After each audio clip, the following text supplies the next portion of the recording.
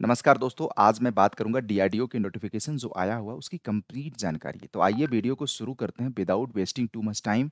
हर एक जानकारी के साथ मैं आप लोगों के बीच में लाइव आ चुका हूँ। एग्ज़ाम पैटर्न से लेकर सिलेबस से लेकर नोटिफ़िकेशन से लेकर के क्या रहेगी एलिजिबिलिटी, कहाँ-कहाँ रहेगा एग्जामिनेशन पैटर्न, सैलरी स्ट्रक्चर्स क्या है और सिलेबस सारी चीज़ देखेंगे इस वीडियो में। तो वीडियो को शुरू से लेके अंत तक देखिएगा। मैं अपने वीडियो को हाइड कर रहा हूँ। प्रॉपर एकदम निगाहें बनाए रखिए। सारे कन्फ्यूज़न्स आप लोगों को दूर कर दिया जाएगा। देखिए सबसे बड़ी बात क्या है कि डीआरडीओ का जो नोटिफ़िकेशंस आया है अगर मैं बात करूँ, तो ये देखिए डीआरडीओ का जो सेप्टम की वैकेंसी आती है उसी का पार्ट है बेसिकली डिप्लोमा एस्पायरेंट्स के लिए और आईटीआई के लिए। तो यहाँ पे देखिएगा कि आपका 23 सितंबर आपका क्रूसिस मतलब ये देखिएगा सबसे पहले इम्पोर्टेंट पॉइंट ही नोट कर लीजिएगा। ऐज एंड एजुकेशनल क्वालिफ़िकेशंस को लेकर के ये है कि इस डेट के पहले आपकी डिग्री अथवा डिप्लोमा या एज कैलकुलेशन जो भी होगा, इसी डेट को लेकर के किया जाएगा।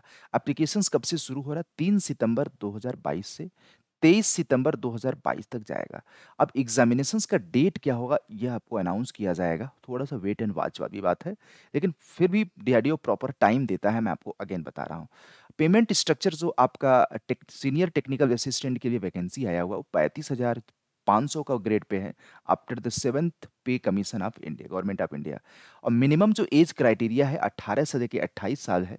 लेकिन आपके एज़ पर द कैटेगरी जैसा अभी सेंट्रल गवर्नमेंट का नियम है कि 3 साल ओबीसी और ओबीसी के लिए और पाँच साल एससी और एसटी के लिए वो तो आपको मिलेगा। उसमें तो भाई देखिए जो सरकार के नियम है, उसमें तो रहेगा, रहेगा। नेक्स्ट अगर हम बात करें यहाँ पे इंपॉर्टेंट बात देखो मैं इसको इसलिए भी विदाउट वीडियो कर रहा हूँ ताकि आपको इन्फॉर्मेशंस प्रॉपर चला जाए आप लोगों की बात, है ना? तो देखिए इसमें ये कहा गया है कि बेसिकली कैंडिडेट जो फाइनल ईयर में है वो एलिजिबल नहीं है। दूसरा इन्होंने कहा है कि दो ईयर का जो इन्होंने बीएससी अथवा डिप्लोमा किया है वो एलिजिबल नहीं है। तीसरा इन्होंने कहा है कि जैसे कि higher qualification like MSc, BE, BTech, PhD एक इंपॉर्टेंट पॉइंट है बेटा मैं आप लोगों से बताना चाहता हूँ। देखो मैं इसमें कुछ ये नहीं कहूँगा कि क्यों नहीं एलिजिबल है।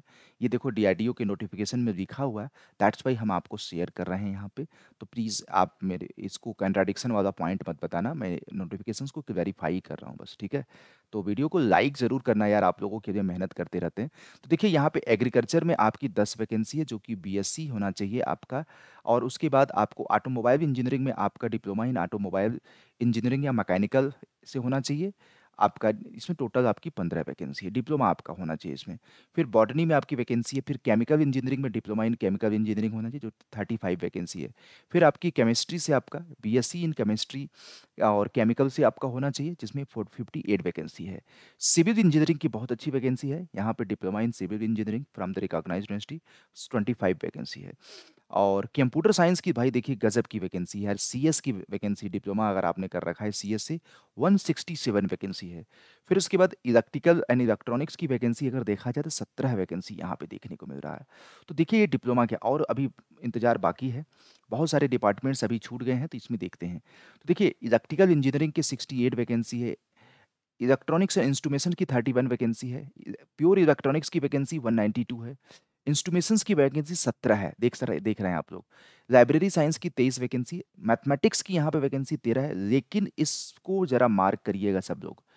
इसको मार्क करिएगा ये ब्रांच को हमेशा अनदेखा किया गया है सेंट्रल गवर्नमेंट के द्वारा, लेकिन यहाँ पे डीआरडीओ ने इस ब्रांच को खुश कर दिया। थोड़ा-सा मैं ज़ूम इन कर देता हूँ, मैकेनिकल इंजीनियरिंग। याद रखिएगा mechanical in diploma in mechanical engineering और mechanical engineering production, automobile, refrigeration and air conditioning, maintenance मतलब मैकेनिकल से रिलेटेड ये सारे ब्रांच इस पोस्ट के लिए एलिजिबल हैं, आपको याद रखिएगा, है ना? मेटलर्जी में आपकी देखिए कि 21 वैकेंसी है। तो और दूसरी बात मैं आपको बोलूँगा कि एक आई आईटीआई लेवल पे भी वैकेंसी आई है, आप लोग अपना देख सकते हैं, यहाँ पे पे स्केल आपको इतना है और इसमें ऑटोमोबाइल के लिए है।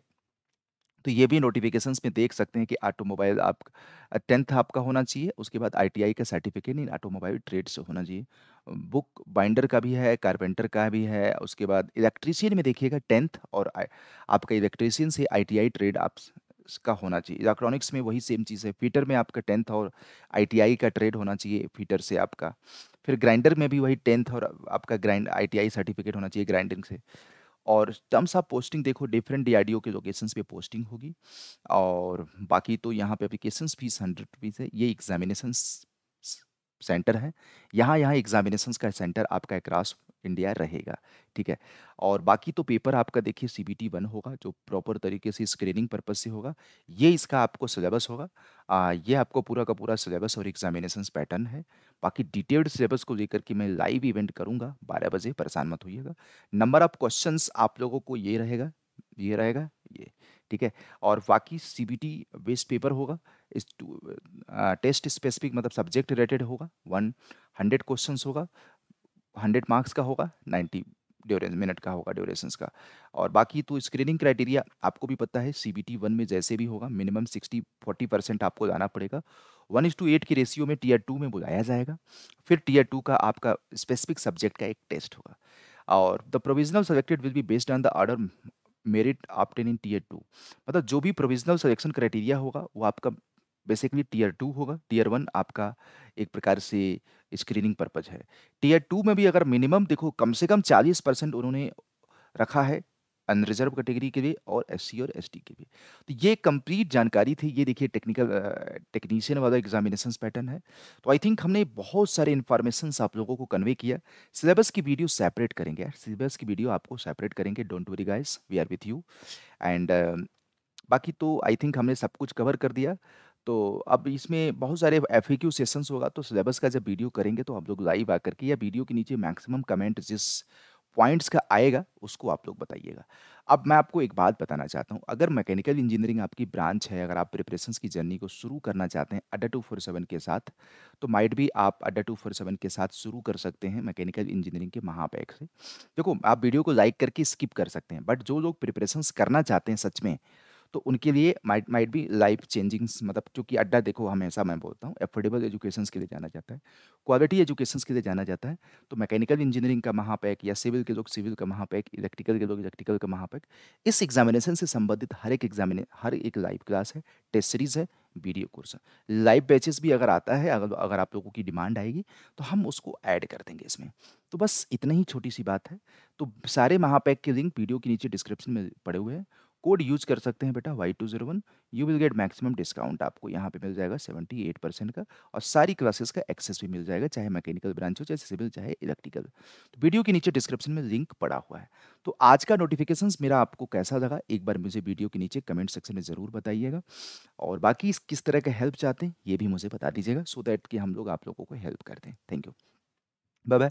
एक छोटा-सा लाइक ज़रूर करिएगा, चैनल को सब्सक्राइब करिएगा, चूँकि इससे हमें मोटिवेशंस मिलता है और आप लोगों के लिए अल्टीमेटली हम लोग काम करते हैं, तो हम लोग चाहते हैं कि थोड़ा-सा आप लोग भी हमें सपोर्ट करें, है ना? सो नोटिफिकेशन आपका आया, हम आपको जो भी इन्फॉर्मेशन और शेयर कर रहे हैं।